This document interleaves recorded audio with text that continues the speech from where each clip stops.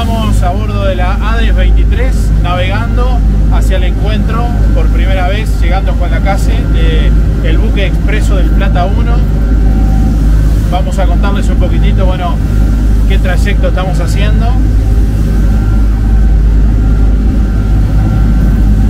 ¿Qué trayecto estamos haciendo recién estamos dejando la, la boya de agua segura de Juan Lacase y vamos al encuentro del, del buque que ya pasó eh, Boca de Cufré. Eh, nos vamos a encontrar a 5 millas más o menos de esta. ¿Qué condiciones tenemos? Eh, tenemos viento del sureste con la ola que estamos justo bien a proa la ola, por eso estamos golpeando la ola de frente. Se puede decir que son condiciones normales, ¿no?